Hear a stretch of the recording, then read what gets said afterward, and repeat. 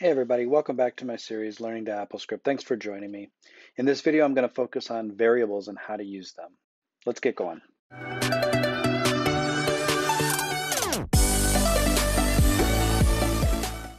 All right, so I've created a very simple illustration of a box to show you that I want you to think of a variable as a container. You can put things in this container to store it for later use in your script.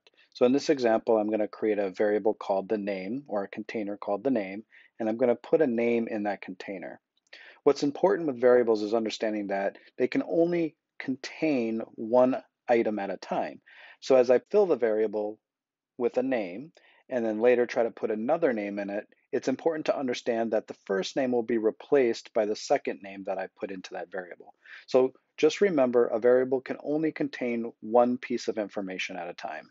Now that I've given you a quick illustration of, a, of what a variable is, let's go to script editor and see it in practice.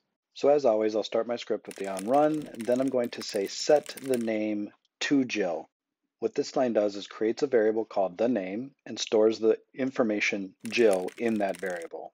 I'm going to add a log and then we'll run the script to see the results of the log, which will show me the value of the variable, the name. So now we can see that my variable, the name, contains the string Jill. So now let's see what happens if we set the variable, the name, to another name, Jason. We'll log that result as well to see the difference. So after running this script, you can see in my results window that I'm getting Jill and Jason respectively. The variable, the name, ends with the last thing I've put in it, which in this case was Jason. So now I want to talk a little bit about variable scope. What's important for you to understand about the scope of a variable is that a variable's information cannot be accessed within another handler. So in a previous video, we talked about an on-open handler, an on-run handler, and an on-idle handler. If you have a variable set in one of those handlers, that information will not be accessible to the other handler unless you program for that. In this example, I'll create another subhandler called subhandler, and I'll set our same variable, the name, to a new name Sarah. And then we'll log that result and let you see kind of what happens to that information before and after I call my sub handler.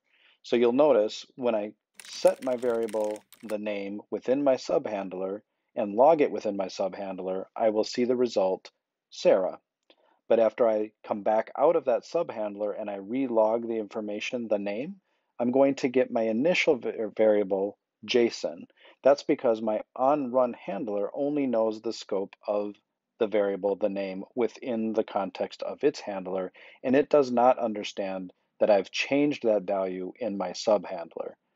A way around this is to create a property. If I create a property called the name, then it gives the scope of my variable global precedence. So it understands now when I set the name, it is going to be set at that higher level, and it will modify that variable throughout the entire scope of my project.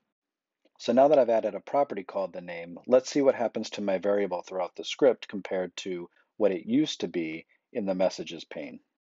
So if we take a quick note of what our value was in the messages pane, we had Jill, Jason, Sarah, Jason. Now let me hit play and let's see what our variables changed to.